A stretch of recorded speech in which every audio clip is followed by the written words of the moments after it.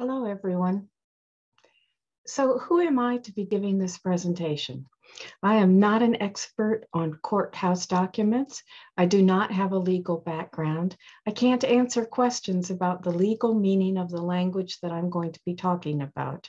What I am is someone who has read through every antebellum will, estate inventory, and deed record of Liberty County, Georgia.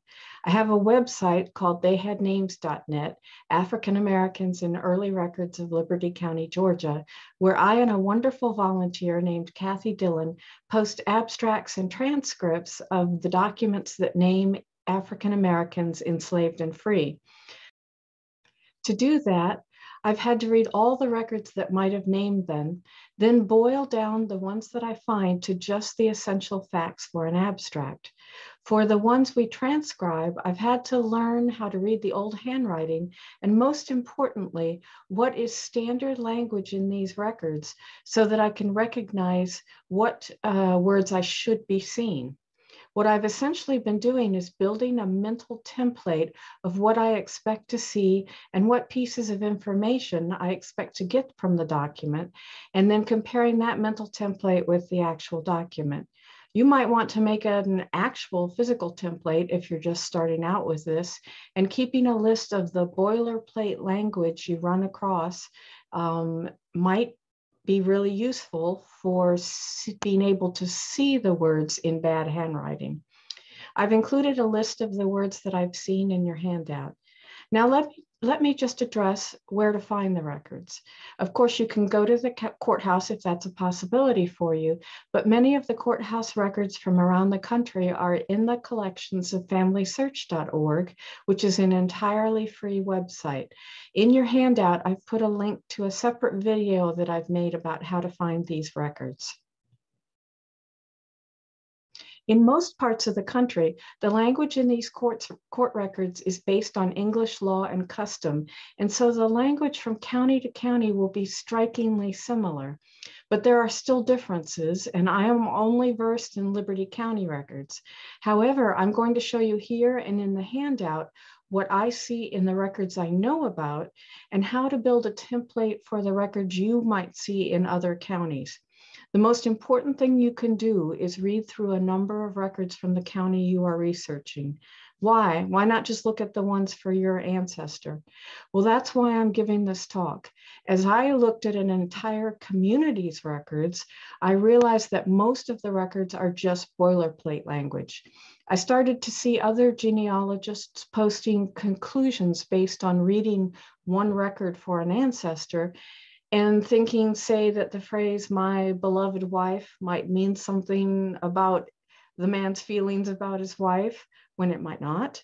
Um, and that a marriage settlement saying that the property the wife was bringing into the marriage should not be subject to her husband's debts thinking it might mean that her husband was not trusted by her parents when that might not actually be the case. It was just standard language in these types of documents. Once you see enough of them, you can just scan through the documents and pick out the meaningful parts, which are normally who did what to whom, unfortunately, rarely specifying why. I'm going to walk through the different types of records and the language you might expect to see in them. And we'll talk about how to build this mental template. I'm going to try to make this dry subject entertaining, but I am going to be showing you records that name enslaved people since my uh, area of research is in the South. So let's not forget that the people named were individuals with hopes and dreams that were crushed in the vice of American slavery. I never forget what they suffered when I'm reading the records they're named in, even though the records make slavery sound almost mundane and normal. Let's dive in, starting with wills.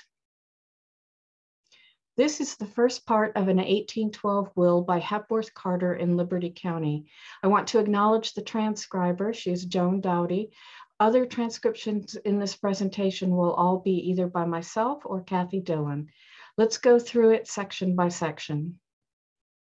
At the beginning of the will, the testator is likely to express that they are competent mentally to make this will. And of course, they think so. Uh, they may make a comment about their physical state of health. In this case, the language sound mind, memory, and understanding, knowing that it is appointed for all men once to die, make and ordain, in manner, form, and following are all standard phrases that might be difficult to read in handwriting if you're not familiar with them. You can see in these examples that although these wills are essentially beginning with the same statement, declaring mental competency, perhaps making a comment on their state of health, and declaring this to be their last will and testament, they say it in different ways. These wills were all from around the same time period, showing that the, the standard legal language can take many forms. For example, in the name of God, amen is a common way to start, but you can see it's not always used and it most likely does not mean anything that it's not used. There's a lot of personal information you can get from these. Newman Bradley was elderly, whatever that meant to him. Sarah M. Law was a widow, but much of the language is very boilerplate-ish, if that's a word. And if the handwriting was difficult to read, it would be useful to know the standard things that were said in these prefaces. For example, the word disposing um, in uh, of sound and disposing mind and memory might be difficult to make out if it's hard to read because it's not a word we tend to use outside of documents such as these. In the next part, testators normally expressed any particular desires they had for their burials and asked that their debts be paid. In this case, we learn that Hepworth Carter was a Mason. You can see here from this section in four different wills that there are many different ways of expressing this thought, but knowing that it's normal for these wishes to be expressed before the division of the property starts, it's much easier to figure out what's written in this section of the will if the handwriting is difficult or just bean handwriting. Whoops. There's a lot to unpack here in this next part of the will, which is where the bequests start. Let's first acknowledge the name of Fanny, a woman held in slavery who is being treated as property in the same way Hepworth Carter might have left a horse, for example, to his daughter. This is a detailed bequest, so let's walk through it piece by piece. Uh, he left to his beloved daughter. Did he actually love his daughter? Well, probably, but this was standard language in wills, and you can't read anything in particular into it, probably just be aware it was a usual thing to say. It was very nice of Hepworth Carter to tell his future descendants that his daughter Elizabeth was married to James C. Bowler. As for Fanny, it was standard in the documents that named enslaved people for there to be a reference to their issue, meaning that any future children Fanny would have would also be the property of Elizabeth Bowler. It's a horrible thought, but it was standard language and it also may help Fanny and her children's descendants figure out where they might have gone um, when Elizabeth died. When the property here says, should, oh, sorry, when the statement here says, should she die without issue, the reference is to Elizabeth Bowler. Hepworth Carter wants Fanny and any future children of hers to go to Elizabeth's husband, James, if Elizabeth was to die without children of her own. And when James died, Fanny and any children would go to his, Hepworth Carter's, other surviving heirs or their children. What would that have meant for Fanny? It me meant that she and her children might be divided among those heirs or sold so that the money could be divided among the heirs. It also tells you probably that Elizabeth and James Bowler did not have children at the time of this will because otherwise there wouldn't be the possibility of her dying without issue but it also might just be standard language for just in case any children she did have um, died before she did. Often the bequest did not specify who would inherit after the legatee, meaning the person that the uh, person who wrote the will left property to, because that would have been controlled by the legatee's own will or marriage. You can see from these examples that the bequests are the part of a will most likely not to use boilerplate language. However, notice the use of uh, the phrase give and bequeath in many of them, very standard. If you know it's a common phrase, you can read it no matter what the handwriting. This part of the will is also the most useful for people in researching their enslaved ancestors. Note that Matilda has a daughter named Ellen and that Hector has been a driver, which normally was a supervisory position on a plantation, not literally a driver. Um, hard as it is to read these things, that information might not be found elsewhere or it might confirm information that was found elsewhere. Toward the end of the will, the testator will appoint an executor or executors and often will state their relationships to him, which is, of course, tremendously useful to genealogists. The language that means I have signed, in this case, I have hereunto set my hand and affixed my seal, is also very standardized. In Liberty County, they normally spelled out the year and said which year it was of American independence. Again, if you know it's a normal thing in the county you are researching, you can see it no matter what the handwriting.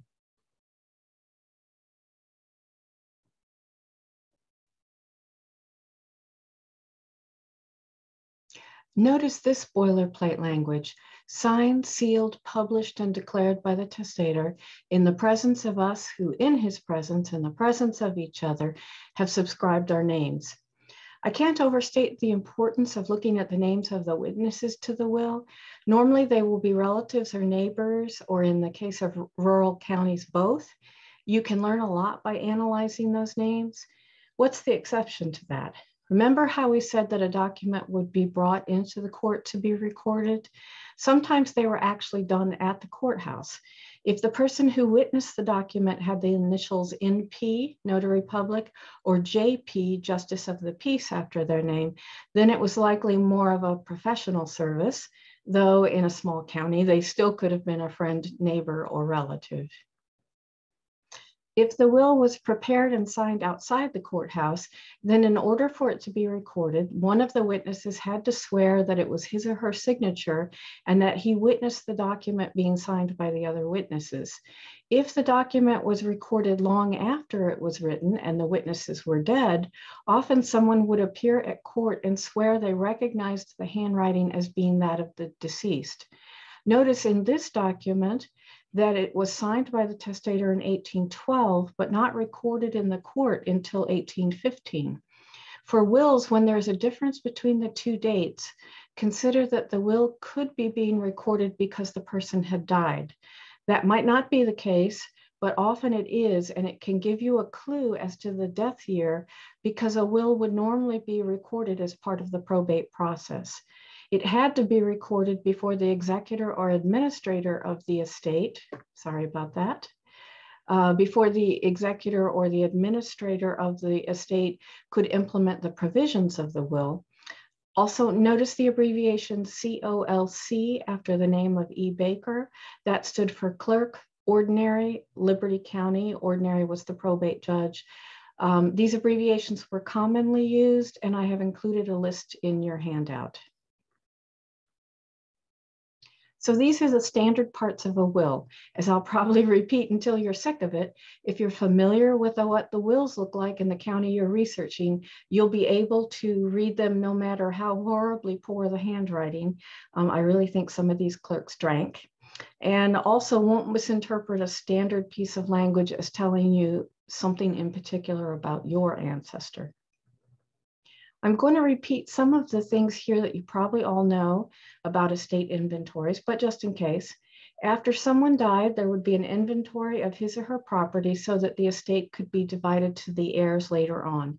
In Liberty County, the court would usually name five possible appraisers, and those will be listed in a court document, and three of them would conduct the inventory um, and appraisal. As far as I can tell, they were normally neighbors who weren't relatives um, because neighbors would be familiar uh, with the current values of each item because they probably had the same things or people um, and would be more impartial than a relative would be. They would be sworn in and then they would conduct the inventory and the appraisal and submit it to the court. If all the heirs were of age, the estate might be divided right away in Liberty County, the estate would normally be divided into lots. Each lot would be assigned a number, and the numbers would often be put in a hat, and each heir or their representative, a husband would represent a married female, uh, would draw a number. Sometimes enslaved people would be included with other property. Sometimes they would be appraised and included in separately. Uh, in Liberty County, land was rarely included in these inventories. Um, it was handled separately. If you are researching enslaved ancestors, it's worth seeking out those land transactions because it could tell you where your ancestor was held in slavery um, unless the deceased had more than one piece of land. If the heirs were not all of age, there would be a division for the ones that were, and the lots that weren't drawn because the heirs weren't yet eligible would be left in the estate in the hat and there would be a separate division each time an heir came of age. It might or might not say that that division was because someone had come of age. So if there if there was a division before and now they're doing a separate one just for one person that probably tells you something about that person's birth date. Now this might mean it might take 20 years, say, for an estate to be fully dispersed. So you need to watch for the possibility that there might be multiple estate inventories. What happened to the estate in the meantime if it wasn't dispersed? In the case of enslaved people, they would often be kept on the plantation under the management of an overseer who would often be a relative of the deceased. A note from Liberty County that might apply elsewhere for the date of the inventory. Often I see the date that the appraisers were sworn in and the date that the inventory was recorded in court without anything that explicitly says what day the inventory was performed. I really don't know if that means they did it on the same day they were sworn in or if it just didn't actually matter what day they did it. Estate inventories tend to be much easier to read than wills or deeds because the information is pretty standardized. Um, these are the pieces of information I normally pull out and abstract. One piece of information that uh, is uh, quite a clue is, does it say that there's an administrator or an executor of the estate. An executor would have been someone who was named in the will as the executor because they're executing the will. An administrator probably means that the person died without a will, intestate, um, and therefore that, that gives you um, quite a clue as to whether or not you need to look for a will if you've only found an estate inventory.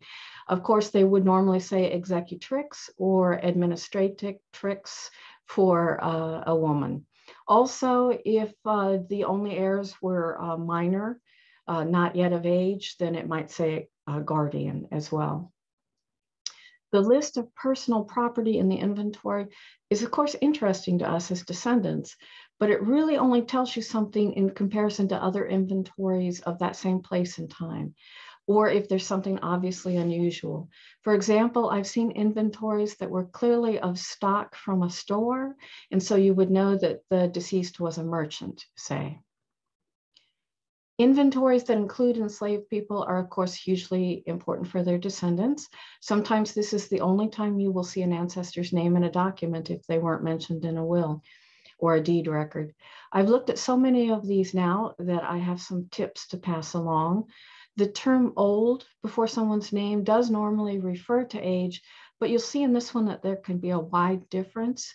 Old Seeley, and that's just my guess for how that name would be pronounced, was listed at a value of minus $50, meaning that she was in such poor health and probably so aged that the other heirs would essentially be paying the person who took her.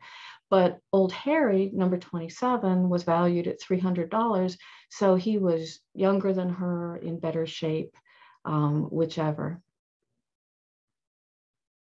One of the most important discoveries I've made in Liberty County is that sometimes enslaved people were recorded in family order without that being stated.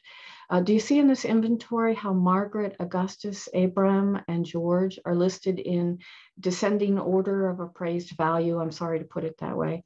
I know from my research that Margaret was the mother of Augustus, Abram, and Georgia, not George.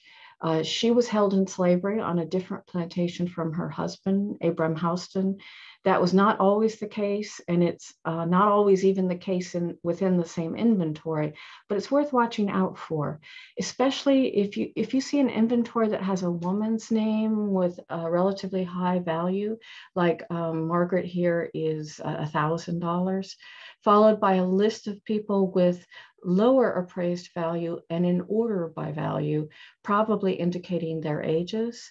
Um, that could be what it means. I have, I have occasionally even seen both parents listed this way with their children after them. In Liberty County, often the first enslaved person listed in an inventory for an estate of significant size will be the driver, whether it's identified, whether he's identified that way or not. The driver was a supervisory position, as I mentioned before, not like a wagon or a carriage driver, and would often be the most important person on a plantation for the other people enslaved there. It's not always the case, but if the pers first person listed has a high assessed value compared to the others, consider that possibility. In the second example below, you, you'll see that there are two drivers and they're specified that way. And this inventory actually identifies families explicitly. Um, this was from 1808.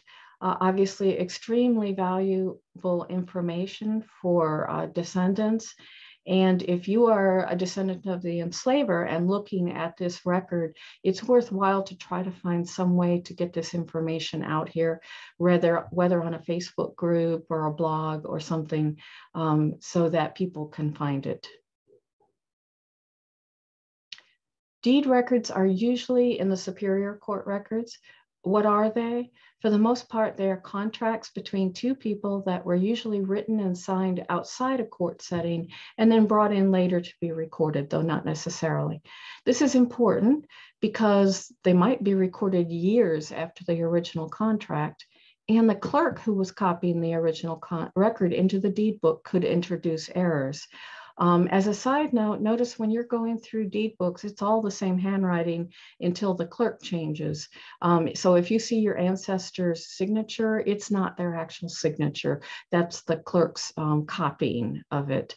And of course, uh, clerks can have very varying handwritings. I remember going into mourning um, when one handwriting changed and a few pages later, I found the, uh, the will for the previous clerk, so he had died. I have found that often it seems like someone came into the court to have a particular deed recorded and they just brought with them all the other deeds they had at home that needed to be recorded. So you might see multiple deed records over many years recorded all at the same time. Um, it might mean nothing, but it also could possibly mean that the individual in all the deeds had died and his or her deeds were being recorded so they could be used in the probate process. If you're struggling with a death date and you find this, it might be a clue that you should go page by page in the probate records from around that time. Here's an example of a deed of conveyance with the essential information highlighted and the type of abstract I normally do for these, um, which is very simple. Now let's look at the actual text of the record. The language in these records is so archaic. I have highlighted some words that will be almost impossible to read in the old handwriting if you don't already know them. Aforesaid and above mentioned are synonymous. These presents is just a way of saying this document whereof, hereunto, heretofore mentioned, thereof, are just old ways of jamming words together. Um, behoof is the old noun that comes with the verb behoove. You know, it behooves you to do such and such. Um, and assigns is just a way of indicating the person who Samuel Jones would legally assign his rights to. In your handout, I've included a list of words and phrases. Um, and the, with the phrases, I've included some uh, jargonless English, you know, about what it, what it actually meant. And remember, I'm not a lawyer.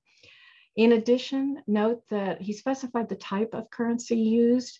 The switch to dollars from pounds did not happen immediately after the revolution. Sometimes in the earlier post-revolution records, you will see pound sterling used, and sometimes you'll see pound sterling used in one record and dollars used in another record from the exact same time. So it was obviously very fluid for a while. In the highlighted section, note how many words were used to essentially say that the buyer gave him the money beforehand and therefore he has sold. In the highlighted section, the seller is just saying that he has legal title to the enslaved man named Dick, and he is willing to defend the sale in court if necessary. This is very standard language, and once you learn it, you can read it no matter the handwriting or however they might have slightly adjusted it. Also, as we discussed earlier, they often write out the year and they specify which year it is after independence, which is really helpful because the written numerals can sometimes, if they're written quickly, look very similar. Then at the bottom, again, you'll see the abbreviation we discussed, this for the court official. In this case, CSCCL stands for Clerk Superior Court County of Liberty, or you might see it as CSCLC um, standing for Liberty County instead of Court of Liberty. Um, it's worth looking at the abbreviations because sometimes they'll record another uh, a deed from another county or place, and your eye may skip it skip over that at the beginning, and you'll just notice that the abbreviation is uh, different. And I have included a list of some of these abbreviations for Liberty County in your handout that you can adapt to the county you're looking at. Let's look at a sale of land and some of the language that might be used in them. I'm going to just focus on the parts about the land since the other parts will be similar to the previous deed of conveyance.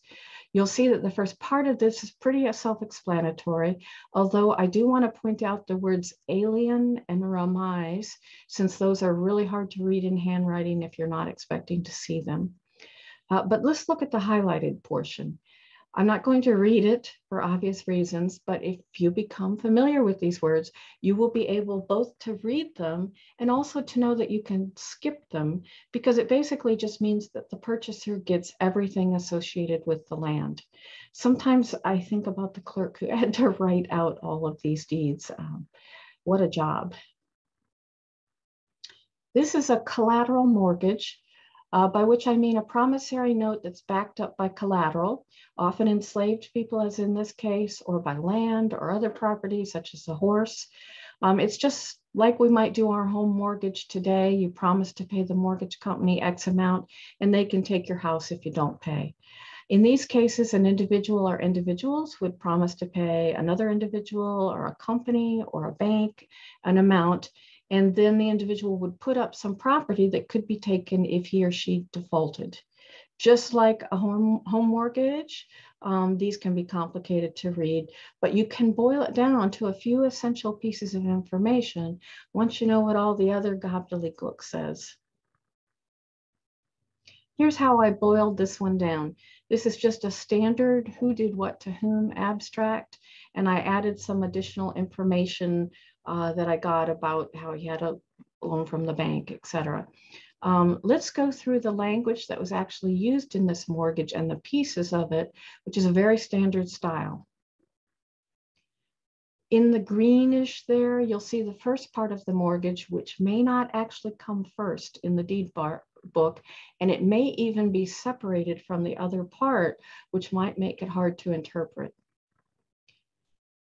So that first part was the actual promissory note. John Stewart promised to pay Josiah Wilson and Uriah Wilcox $600 before January 27, 1822.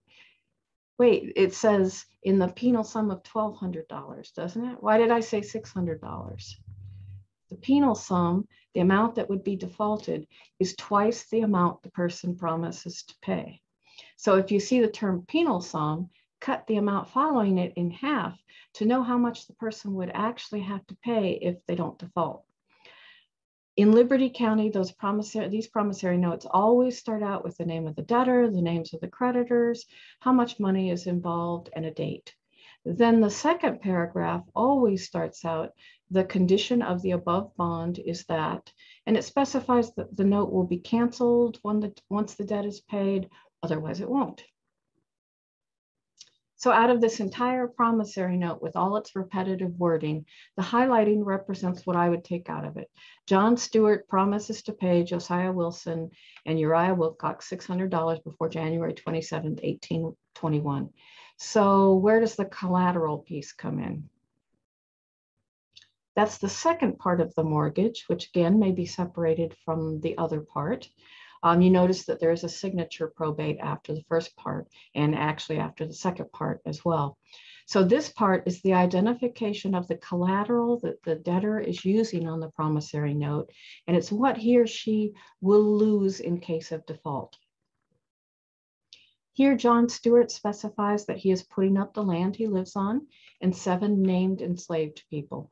You can see both the horror of the latter these people who will be sold at public auction if John Stewart can't pay his debt, and the genealogical value of this record.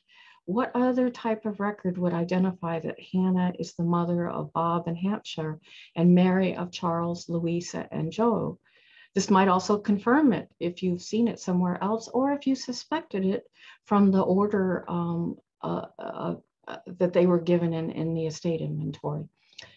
Again, we see the boilerplate language. Know all men by these presents, the receipt whereof is hereby acknowledged, their heirs and assigns. The new legal language we see in this document as compared to the deed of conveyance is uh, the previous deed of conveyance is also very formatted language that you will see over and over again in these types of records. And once you're accustomed to what they say, you can see it. So what happened when someone failed to pay a secured debt? Well, whatever or whoever they used to secure the debt was actually seized by the county sheriff and sold at a public auction at the courthouse on a certain date. Here's a transcription of the first part of that sheriff's sale record um, that was on the previous slide. Now, we've only looked at a few records now, and look how many words and phrases we already know are boilerplate language.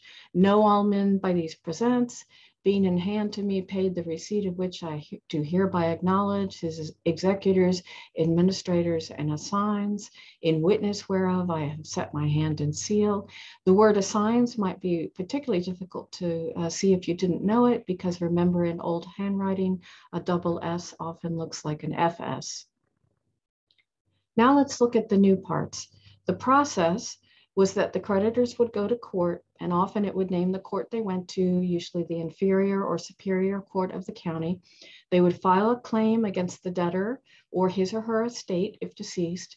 And if they won, a writ of fieri facias, I don't know if I'm pronouncing that right, would be issued that would tell the sheriff to seize the defendant's property and put it up for sale, which was normally done on certain days of the month. Fieri facias is often abbreviated as FIFA, so you might already have seen it somewhere. It just means that the sheriff had a legal document allowing him to seize property. So this record tells us that Jonathan Holden had died and that John Baker, the surviving co-partner in a business called Baker and Troop, had sued the estate and won. The sheriff seized Robin, Phoebe, and Sophia enslaved people to pay off that debt and put them up for public auction. It would have been at the Riceboro courthouse, although this one doesn't say that. James Holmes, a merchant, was the highest bidder. And so the sheriff wrote up this deed of conveyance. And just in, as in the one we saw earlier, he warrants that he will defend Holmes's claim to them um, if it were to be challenged. You see also the court official abbreviations we've talked about previously. In this case, it's SLC for Sheriff Liberty County. And they probably drew up this document right then and there at the courthouse. So it's a justice of, of the peace who is a witness. This is the last part of that same record, which I'm only doing separately because I couldn't fit it all on one slide. James Holmes, who bought Robin, Phoebe, and Sophia at auction, sold Phoebe separately, and he doesn't say to whom, unfortunately. Then he signed over Robin and Sophia to Elizabeth Holden. Remember that they were seized from the estate of Jonathan Holden. It was not unusual for someone to make the winning bid at an auction and then turn over the enslaved people to a family member of the debtor or the deceased.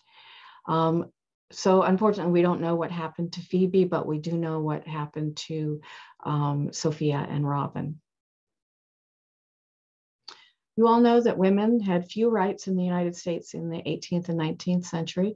Generally speaking, when a woman married, if she was bringing property into the marriage, it either became her husband's property to do with whatever he wanted, or it needed to be explicitly stated in a legal document before the marriage, often called a marriage settlement, that it was not his. Normally, a trust would be created and two or more men would be named as trustees to manage the property. She would have to ask their permission, maybe just a formality, before any of the property was sold. It was common for a woman's parents to gift enslaved people to her in, in states that allowed slavery and land to her brothers um, enslaved people were portable, so to speak, so she could take them to her husband's home her brothers could use the land to set up their households. Of course, anything might be done in any individual case. The language in these marriage settlements is wild. Every synonym that can be used is used. You'll notice that this indenture, and an indenture is just an agreement between people, is between the groom, Henry D. Stone, and his intended wife's trustees, not between her and him. Sometimes it will actually be between the man and the woman. She had no legal standing in this case, even though she actually was a widow, um, to enter into a legal contract. It will be stated that they intend to marry, and then the property she's bringing into the marriage will be outlined.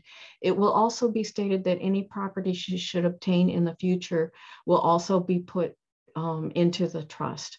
Sometimes it goes into detail about the property, sometimes um, it doesn't, but it can be a clue later on when she dies um, as to what might happen to her property. My favorite part in this one is the part at the end, um, which I will read just because it's it's amazing. Such other person or persons as is or are herein above mentioned, or is or are or shall be herein after mentioned, in such sort, manner, form, and wise as is, and are in these presents hereafter expressed, mentioned, specified, declared, and limited, and in no other sort, manner, form, and wise whatsoever. And I hate to tell you this, but we are only halfway through this document. I've highlighted some of the redundant language used here. I'm sure that it's not actually redundant. There's almost certainly a nuance of meaning to each term that means something in the law, but I don't believe it's a nuance we need as genealogists. Um, these marriage settlements that I've seen normally do agree, as with this one, that the husband gets the use and management of the property that's in the trust during their lifetimes, but then she gets to leave it to whomever she wants. Um, it usually comes to him, though, if she doesn't leave a will and if she has no children. And in the final part, there's even more weasel wording. Um, I entertain myself sometimes by imagining someone bringing a lawsuit based on a document like this, saying, oh, any person or persons claiming to have any claim but you didn't say pretending to have any claim, so eh, not valid. So what did it all mean? Here's how I summarized it. In the inheritance conditions um, that I just alluded to in the abstract, it would go to her children. If no children, Henry Stone got to keep it all. Very standard clause. Often there's also something about how her trust property will not be subject to his debts. Seeing that clause in a marriage settlement shouldn't be understood to mean that her parents didn't like or trust her husband. However, the part about the debts was an important clause in Liberty County and other places where planters had to take out collateral mortgages most years to finance their crops, and they could go bust in a bad weather year. It was very likely that he would have debts um, that he, they did not want her property to be subject to. So this is one of those cases, what we just went through, where I had to go through it quickly and a little facetiously, but I am not forgetting that there were human beings named as property in this document. Tola, Dorcas, Phyllis, Flora, and Isaac, their names are important and should be remembered. Finally, we're going to go over deeds of gift, which are relatively easy in comparison to the other documents. Why would someone document a gift? In the case of valuable property, like people being held in slavery or land, or even horses and cows, of course, it's best to document the transfer in case the person receiving the gift wants to sell, bequeath, or regift the property at some point. But that doesn't mean that every gift was documented in, in court. Just like deeds of conveyance and other deeds, these might be held by someone for years before getting them recorded in court, or unfortunately, they might never get recorded if no need was seen for it. Here's the transcription of the deed of gift we saw on the previous page. Robert Salins married Mrs. Ann Clay in Chatham County, Georgia on December 18, 1808. So this, this deed of gift, which was in 1809, was presumably part of their marriage settlements or just a gift. Um, often parents would give their children property upon their marriages. Um, we've already discussed that they might give enslaved people to daughters and land to sons. Grandparents would often also often do the same. People nearing the end of their lives might gift their property rather than leave it to go through the probate process, just like today. Something to notice in this deed is that it's dated 1809, but the signatures were probated in 1820 and it was recorded in 1820. That is a big clue that something might have happened in 1820 that made it worth recording a piece of paper that had previously probably been kept at home.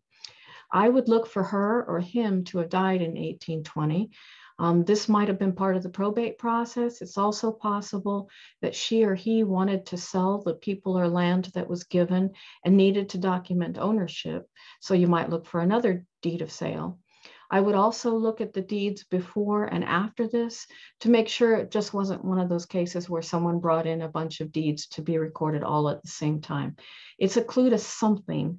You just have to figure out what. Well, we've been through a lot of material and we've really just scratched the surface of the types of court records you might find and the language that might be used in them, especially in a different county.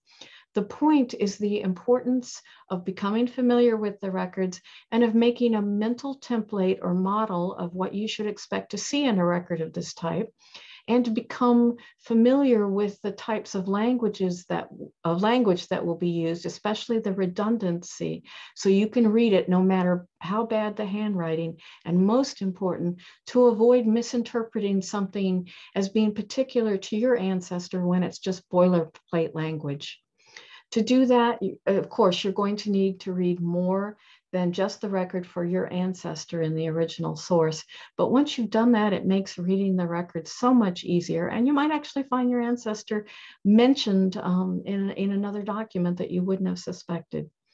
As I mentioned, I have put the text of this uh, on the slides in the handout, along with a list of words and phrases commonly seen.